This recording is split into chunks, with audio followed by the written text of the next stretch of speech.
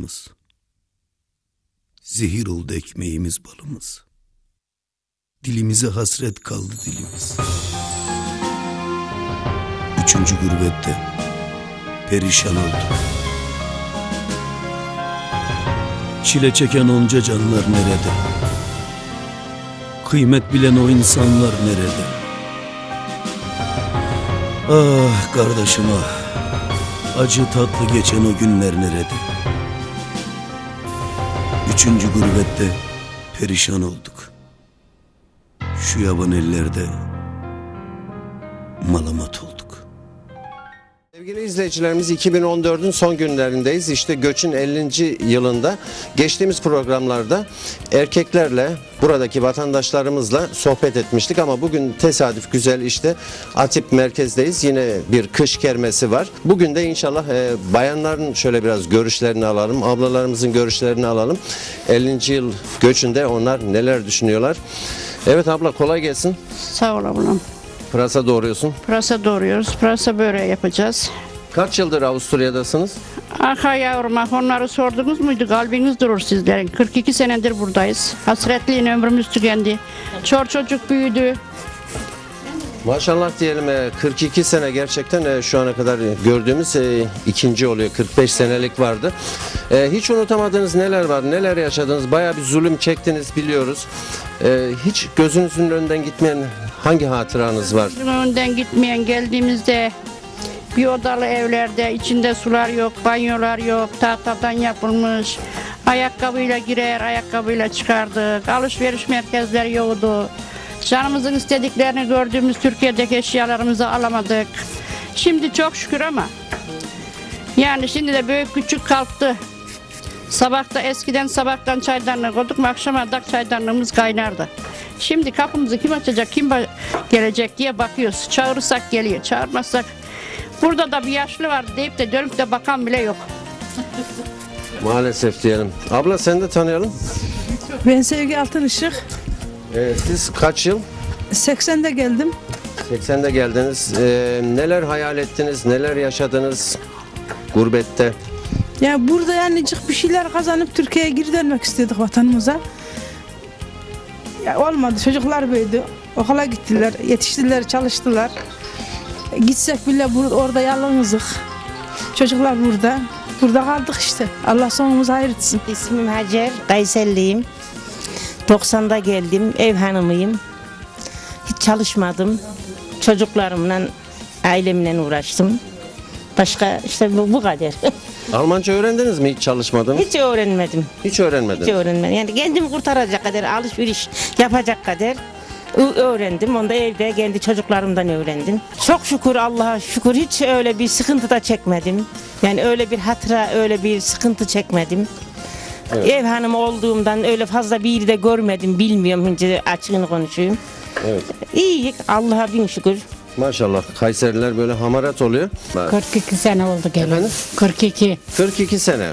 Bak 42 sene maşallah büyük bir zaman. Sizin gözünüzün önünden gitmeyen bir hatıranız yok mu? Yani bir- böyle ilginç bir şey. Yok anam benim. Yok diyorsun. Ben çalışmadım hiç. Hiç çalışmadım. Olsun canın sağ olsun. Erkekler çalışmıştır. Abla seni tanıyalım. Ben Fikriye Uysal. Üç tane çocuğum var. Ee, 81 senesinde geldim. Unutamadığım acı şey dersen 3 ay oluyor beyimi kaybettim. Allah rahmet eylesin. Allah razı olsun. Allah Üç senedir hastaydım. Allah bundan sonra e, hayatınızı kolaylaştırsın. Sıkıntıları unutturdu. Yani o daha ağır bastı. Ne yapalım Allah rahmet eylesin. Söyleyecek bir kelime bulamıyorum. Evet sevgili izleyiciler. Allah sizleri de eksik gitmesin kurban olduğum Allah. Amin diyelim. Evet sevgili izleyicilerimiz işte herkesin bir hatırası, herkesin söyleyeceği mutlaka bir şeyler vardır. İşte bu ülkede 40 senesini verenler, 50 senesini verenler, işte ablamız gibi gerçekten eşini, çocuğunu Kaybeden. kaybedenler. e, buralar gerçekten e, zulüm halinde geçti. Hani işin özetine geçecek olursak. Bir önceki 50 yıla göre inşallah diyoruz bundan sonraki 50. yıllarda İnşallah. inşallah çocuklarınız, e, sizlerin torunları bu ülkede daha güzel seviyelere gelir. Türk kadının Avrupa'daki fedakarlığını da görüyorsunuz. Şimdi kermes için herkes burada gelmiş.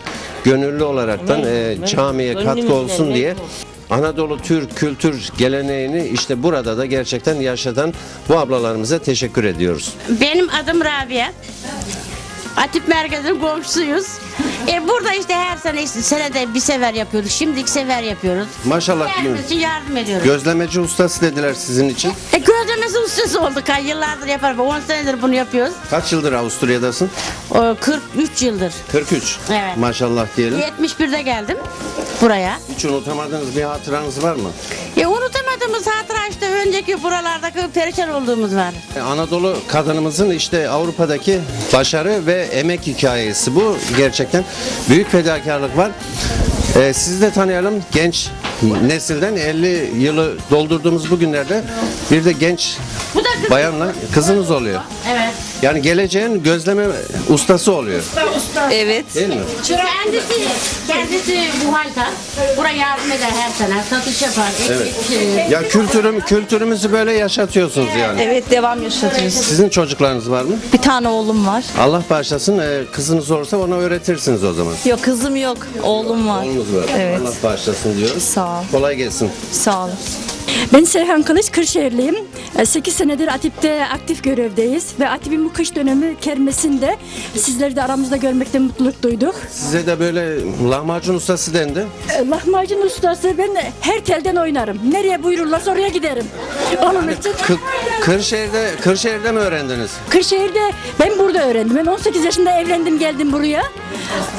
Burada yapıyorum pasta, börek, çörek. Şöyle e, 50. yıldayız. Göçün 50. yılındayız. Siz diyor, çok şükür buraya geldim diyor musunuz? E, Ben buraya yani pek memnun değilim açıkçası. Ben burayı açık hava mahpushanesi olarak görüyorum. Kendini geliştiren, aktif olan kişiler için iyi ama evde kapılı hanımlar için biraz zor olur. Hayat zor geçer.